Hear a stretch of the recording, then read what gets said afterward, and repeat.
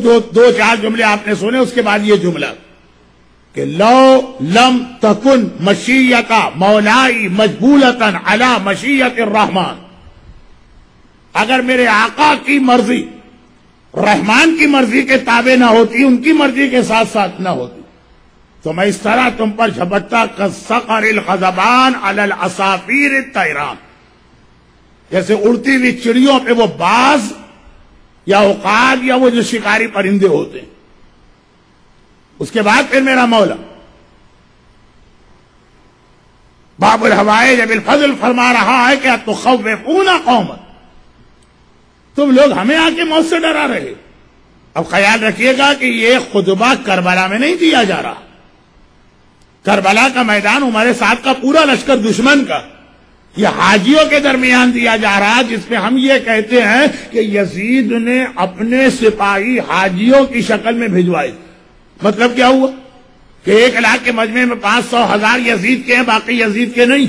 ये मतलब हुआ ना, लेकिन आका अब्बास, लफ्ज तुम। डायरेक्ट पूरे मजमे को मुखातिब कह रहे हैं तो खौफ फून वो सारे हाजियों को देखकर। तुम उन लोगों को मौत से डराते। अब तो खौफ फून कौमन बिल मौत या लबो फितुफूलिया जो। अपने बचपने में भी मौत से खेला करते थे, कहा तो वो सब जवान हो गए, उनको मौत से डरा रहे हाई हाथ, मुख्तसर कर रहा हूँ, दो तीन जुमले खाली छोड़ रहा हूँ। हाय हाथ,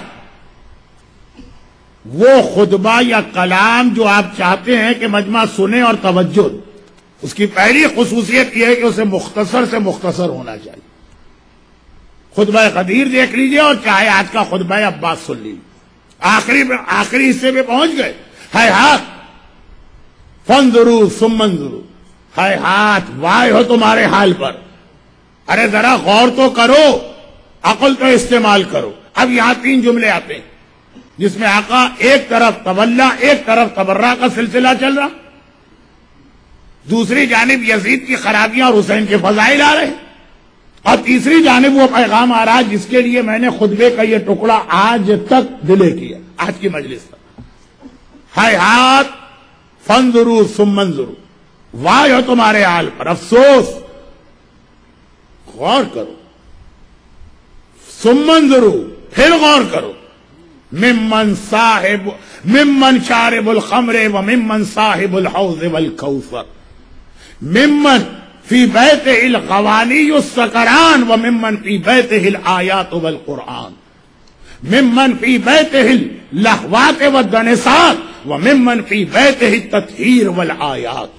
ये तीन जुमले आका अब्बास ने कहे का मुकाबला कर रहे हो तुम लोग? कंपेयर कर रहे हो तुम लोग? उस आदमी को मिम्मन शारिबुल खमरे जो शराब पीने वाला, इसको कंपेयर करे उससे? साहिबुल हौजेबल कौसर, जो हौज जन्नत और कौसर जन्नत का मालिक। शराबी का मुकाबला तुम करते हो साहिब हौज और साहिब कौसर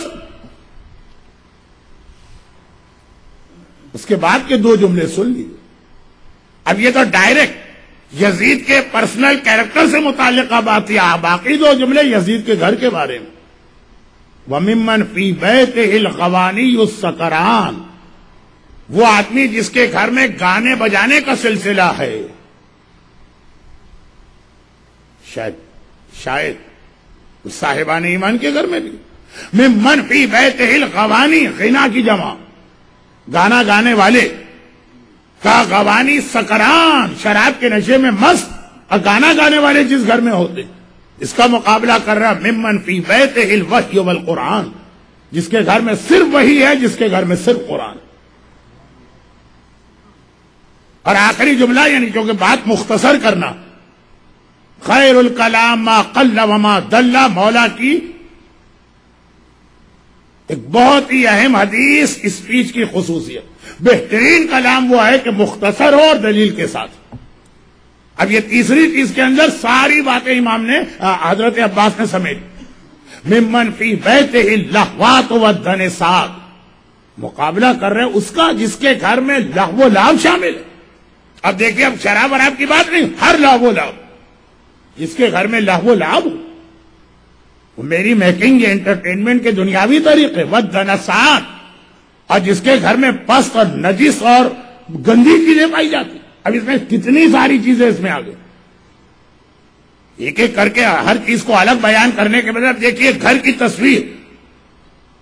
पेश की जा रही है, उसके घर को देखो, उसमें क्या है। और जैसा कि हर समझदार इंसान की खासियत। कि दूसरों को देख के इबरत पकड़ता है, उसको ये देखना है, मेरा घर ये वाला है या मेरा घर वो वाला मिम्मन पी बैत ही लहवात व सात लहवात लहवो लाइफ की जमा। जिसके घर में लाभो लाइफ पाया जाता है, वो घर वह दनेसात नजिस दनिस गंदी चीज़ें, नापसंदीदा चीज़ें, इसका मुकाबला कर रहे हैं मिम्मन पी बैत ही तथहीर वाला आयात। जिसके घर में तहारत है, इसमत है और आयात। अब यहाँ पे मैंने कहा कि पैगाम बहुत सारे हैं, लेकिन सिर्फ़ तीन बातें आपको याद दिलाना। पहली बात तो यह कि देखिए खुतबे के शुरू में मौलानी के फजाइल से वाका हुसैन की फजीलत। सारी बातें क्या ये वो है जो साहिब हौज है, ये वो है जो साहिब कौसर, ये वो है जो साहिब वही, ये वो है जो साहिब कुरान, ये वो है जो साहिब तथीर है, ये वो है जो साहिब आयात। ये सारे फजाइल हुसैनी चल रहे साथ में ये भी बता दी कि खाली अच्छों की तारीफ़ काफ़ी नहीं है, ये भी बताओ, और वो कौन है?